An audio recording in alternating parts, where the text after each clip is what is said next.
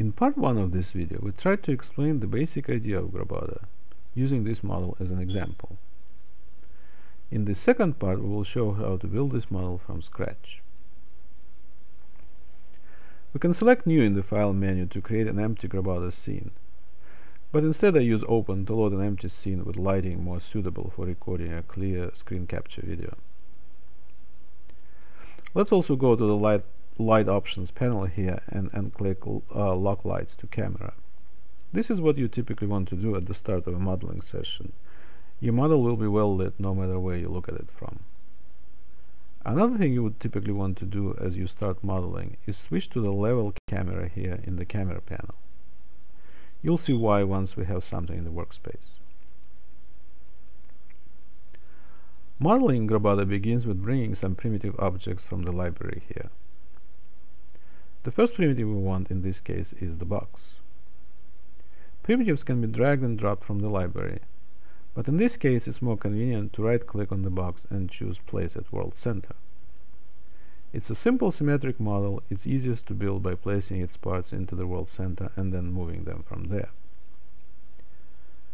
The next thing we want to do is to make it larger by clicking on Global Scale in the Edit panel below and dragging to the right. This is a major part of our model, might as well make it larger. Next we want to make it taller by clicking and dragging on length in the Edit panel.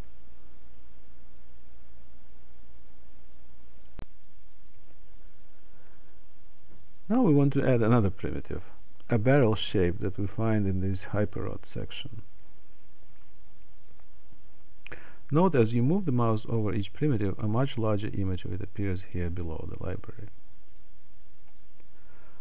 Again, we right-click on the primitive, but this time we choose Place at Selection Center. It so happens that in this case the World Center and the Selection Center are the same, but it still makes a difference to choose Selection Center the barrel is automatically resized to roughly the size of the box, the previously selected object. Actually, we want it somewhat smaller, so we resize it now by dragging on global scale. We also want to move it up by dragging on Y in the Move Tool widget. Y is the vertical direction. You can also switch tools and specify motion along a particular axis without moving the mouse away from the model. Pressing T cycles through the tools. Then pressing and holding 1, 2, or 3 constrains the move, the move tool to X, Y, or Z. Here I am pressing 2, the Y axis becomes yellow, and I move the barrel along it.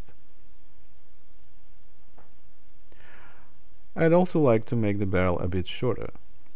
I press R for reshape, and the tool switches to global scale which is one of the reshape options. I keep pressing R and it cycles through all the other reshape options. What we want is length. We adjust the length to, to something like this. At this point we might want to take a look at the model by orbiting the camera around it. The level camera is better for modeling because the model always remains upright no matter where you look at it from. If we switch to free camera, we can get the model to tumble arbitrarily in our view. When we switch back to level camera, it gets upright again.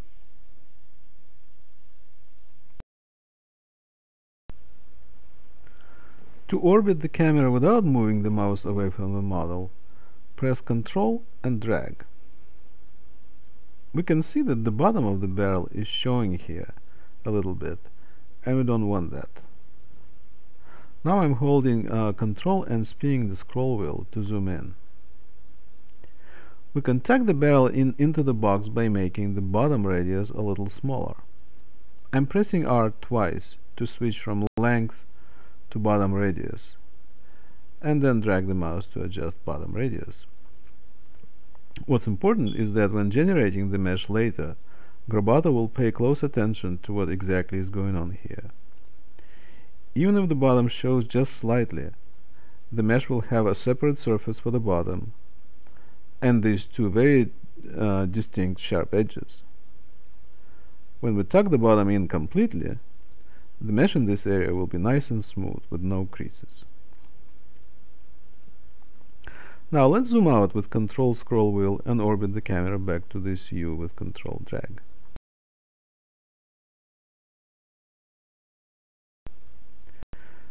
So far we have just two regular objects, a box and a barrel. Now we'll start trimming them, shaving off parts of this object we don't need, using other objects as cutting tools. Before we begin, let us note that we have two objects here and we have a choice. We can trim them separately, where trims of one object do not affect the other object. Or we can trim them together, where trims are shared and shave off parts of this box barrel thing as if it's a single object. Let's choose the second alternative, treating this combination as a single object. Before any object or combination of objects can be trimmed, we have to designate them a Boolean cluster. To do this, we select the bool tool here, or press B, and then lasso the object we want to become a Boolean cluster. To find out if an object is a simple object or if it belongs to a Boolean cluster, you can right-click on it. Here it says that the box has bool ID 1 and it is a primary or positive object. Primary is the object from which you can shave off pieces using trims. If we right click on the barrel, we see that its bool ID is also 1 and it is a primary too.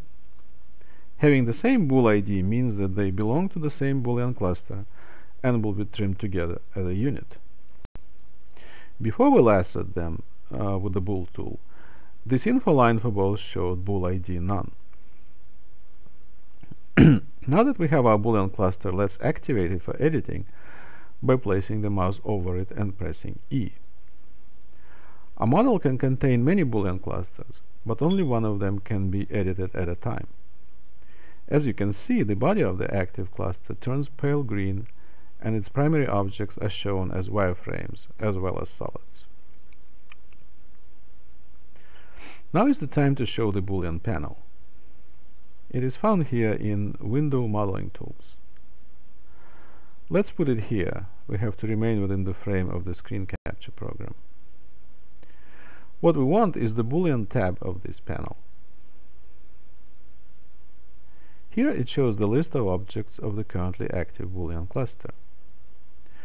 So far we have only two primaries, the box and the hyperrod, or barrel. What we want to shave off first of all is the square bottom of the box. We want the bottom to be round, something that will go well with the, with the round barrel here, only larger.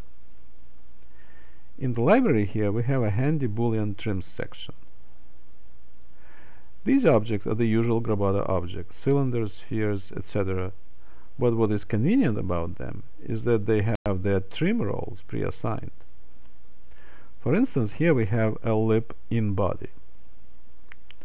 As the picture shows, when you apply this trim, only what's inside the ellipsoid will remain. Everything outside will be shaved off. This is, one, uh, this is the one we want to use to make the bottom round. We right click on it and choose place at world center. But in this add to current cluster section, not the one we were using before.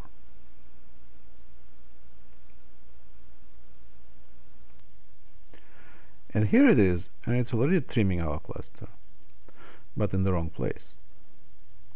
First of all, it's too tight overall, uh, let's enlarge it with global scale. Second, we only want to trim the bottom, not the top. So let's elongate it using length. And then move it higher. It's now well clear of the top. The trim ellipsoid appears now in the list here as ellipsoid inside body. The check mark means that it's selected. Now we want another trim to make the body of the cup hollow. That would also be an ellipsoid, but with the opposite, opposite trim role, outside body. Here we have such a thing in the library. Let's right click on it and again choose add to current cluster place at world center. This one only allows what's outside of its body, and at its default size, it, it consumed everything. Not to worry, just make it smaller. Here we get some interesting shapes, like it frequently happens while doing dynamic Boolean modeling. But let's not get distracted from our goal. We also make it shorter. Another interesting shape. And, and also move it up.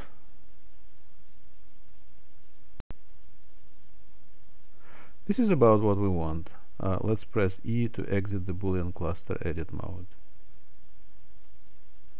and we don't need this anymore. Now let's add the stand. For that we can use another hyperrod here. Right click on it and choose place at world center. Its default size is pretty small, so it disappeared inside this large object. Uh, we can see it if we move it somewhere. We, we could have avoided this disorienting situation if we used place at selection center instead. So let's undo move object and undo create object.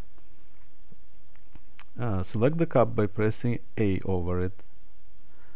Then I right click on the hyperrod and choose place at selection center. Now it's automatically sized to roughly uh, match the selection size. Let's do control scroll wheel to zoom out and control drag to get a view from the side. First of all, it's, it's not much of a stand with a bulging bottom like this.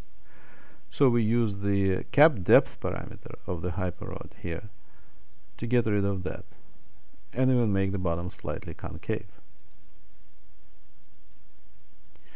We move it into position vertically, zoom in reduce mouse sensitivity. Then do slight adjustments of the top radius and vertical position to fit the two parts nicely to each other.